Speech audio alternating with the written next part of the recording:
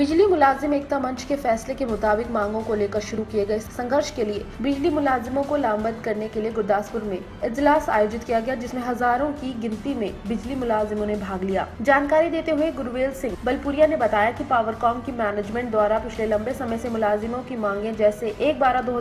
से पे वैन में बढ़ावा करना, एरियर की अदायगी नगद रूप में करना आउटसोर्सिंग मीटर रीडर और पार्ट टाइम को पक्का करना नए भर्ती किए और सेवामुक्त मुलाजिमों को बिजली के यूनिट की हिदायत देना आदि मांगों को लागू करने में टाल मटोल कर रही है, जिस कारण बिजली मुलाजिम एकता मंच पंजाब द्वारा पावर कॉम की मैनेजमेंट के विरुद्ध कड़े संघर्ष का ऐलान किया गया है। जिसके तहत पंजाब भर में सर्कल स्तरीय कनेक्शन करने के बाद पंद्रह सितंबर को पावर कॉम के मुख्य दफ्तर पटियाला में ज़बरदस्त प्रदर्शन करने के बाद पंजाब के मुख्यमंत्री के मोती महल की ओर मार्च किया जाएगा। पंजाब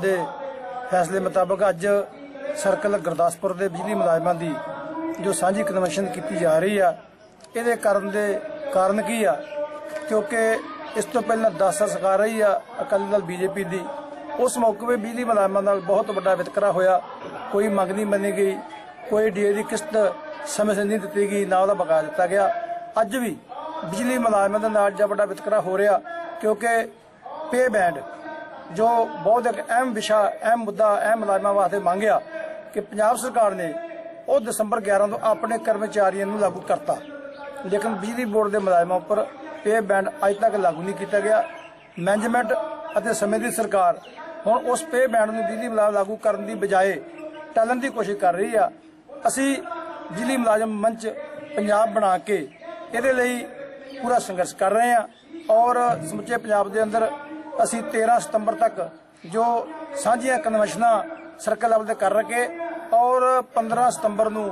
ਬਿਜਲੀ ਬੋਰਡ ਪਾਵਰਕਾਮ ਟਰਾਂਸਕੋ ਦੇ ਤਿੰਨੇ ਗੇਟ ਜਿਹੜੇ ਆ, ਉਹ ਅਸੀਂ ਉਹਦਾ ਘਰੋ ਕਰਨਾ ਵਾ ਔਰ ਜੇ ਮੈਨੇਜਮੈਂਟ ਦਾ ਰਵੱਈਆ ਫਿਰ ਵੀ ਠੀਕ ਨਾ ਹੋਇਆ, ਉਸ ਦਿਨ ਹੀ ਘਰੋ ਕਰਨ ਤੋਂ ਬਾਅਦ ਚ ਮੋਤੀ ਮਹਿਲ ਵੱਲ ਯਾਨੀ ਮੁੱਖ ਮੰਤਰੀ ਪੰਜਾਬ ਵੱਲ ਉਹਦੇ ਮਹਿਲ ਵੱਲ ਜਿਹੜਾ ਬਿਜਲੀ ਮੁਲਾਜ਼ਮ ਆ, ਉਹ ਰੋਸ ਵਜੋਂ ਬਹੁਤ ਭਾਰੀ ਮਾਰਚ ਕਰਨਗੇ, ਭਾਵੇਂ ਉਹਦੇ ਸਾਨੂੰ ਕੋਈ ਕੁਰਬਾਨੀ ਕਰਨੀ ਪਵੇ, ਅਸੀਂ ਪਿੱਛੇ ਨਹੀਂ ਹਟਾਂਗੇ, ਕਿਉਂਕਿ ਅੱਜ ਬਿਜਲੀ ਮੁਲਾਜ਼ਮਾਂ ਦਾ ਆਰਥਿਕ ਮੁੱਦਾ ਜਿਹੜਾ ਵਾ ਪੇ ਬੈਂਡ ਉਹ ਅਹਿਮ ਜੁੜਿਆ ਪਿਆ। ਜਿਹਦਾ ਬਕਾਇਆ ਜਿਹੜਾ ਘੱਟ ਘੱਟ 331 ਕਰੋੜ 331 ਕਰੋੜ ਰੁਪਇਆ ਬਕਾਇਆ ਏਰੀਅਲ ਬਣਦਾ ਔਰ ਮੈਨੇਜਮੈਂਟ ਜਿਹੜੀ ਉਹ ਨਹੀਂ ਦੇ ਰਹੀ, ਉਹਨੂੰ ਟਾਲਣ ਦੀ ਕੋਸ਼ਿਸ਼ ਕਰ ਰਹੀ ਆ। ਔਰ ਅਸੀਂ ਬਿਜਲੀ ਮੁਲਾਜ਼ਮ ਏਕਤਾ ਮੰਚ ਪੰਜਾਬ ਨੇ ਇਹ ਫੈਸਲਾ ਕੀਤਾ ਕਿ ਅਸੀਂ ਬਿਜਲੀ ਮੁਲਾਜ਼ਮਾਂ ਨੂੰ ਉਹਨਾਂ ਦਾ ਪੇ ਬੈਂਡ ਜਿਹੜੀਆਂ ਬਾਕੀ ਸਾਡੀਆਂ 28 ਮੰਗਾਂ ਦਾ ਮੰਗ ਪੱਤਰ ਅਸੀਂ 13 7 17 ਨੂੰ ਬਿਜਲੀ ਬੋਰਡ ਦੀ ਮੈਨੇਜਮੈਂਟ ਨੂੰ ਪਾਵਰਕਾਮ ਦੀ ਮੈਨੇਜਮੈਂਟ ਨੂੰ ਪੇਸ਼ ਕੀਤਾ। ਪੰਜਾਬ ਸਰਕਾਰ ਨੂੰ ਵੀ ਉਹ ਮੰਗ ਪੱਤਰ ਭੇਜਿਆ। ਬਿਜਲੀ ਮੰਤਰੀ ਸਰਦਾਰ ਗੁਰਜੀਤ ਸਿੰਘ ਰਾਣਾ ਜੀ, ਉਹਨਾਂ ਨੂੰ ਮੰਗ ਪੱਤਰ ਭੇਜਿਆ। ਉਹਦੇ ਰਿਮਾਈਂਡਰ ਵੀ ਭੇਜੇ ਆ। ਲੇਕਿਨ ਅੱਜ ਤੱਕ ਪੰਜਾਬ ਸਰਕਾਰ ਨੇ ਉਸ ਪ੍ਰਤੀ ਬਿਜਲੀ ਬੋਰਡ ਦੀ ਪਾਵਰ ਪਾਵਰਕਾਮ ਦੀ ਟਰਾਂਸਕੋ ਮੈਨੇਜਮੈਂਟ ਨੇ ਅੱਜ ਤੱਕ ਉਸ ਪ੍ਰਤੀ ਕੋਈ ਸੰਜੀਦਾ ਸੰਜੀਦਗੀ ਨਹੀਂ ਵਿਖਾਈ। ਇਸ ਵਿਰੁੱਧ ਅਸੀਂ ਜਿਹੜਾ ਇਹ ਕਨਵੈਨਸ਼ਨਾਂ ਕਰ ਰਹੇ ਹਾਂ। ਅਗਰ ਮੈਨੇਜਮੈਂਟ ਨੇ ਤੁਰੰਤ ਬਿਜਲੀ ਮੁਲਾਜ਼ਮ ਏਕਤਾ ਮੰਚ ਪੰਜਾਬ ਨੂੰ ਬੁਲਾ ਕੇ ਗੱਲਬਾਤ ਨਾ ਕੀਤੀ ਤਾਂ ਫਿਰ ਇਹਦੇ ਜਿਹੜੇ ਸਿੱਟੇ ਗੰਭੀਰ ਹੋਣਗੇ ਔਰ ਵੀ ਦੀ ਮੈਦਾਨ ਸੰਘਰਸ਼ ਕਰਨ ਤੋਂ ਪਿੱਛੇ ਨਹੀਂ ਹਟਣਗੇ ਗੁਰਦਾਸਪੁਰ ਸੇ ਨਾਸ਼ਮਬਾਜ਼ ਕੇ ਲਈ ਹੇਮੰਤ ਨੰਦਾ ਕੀ ਰਿਪੋਰਟ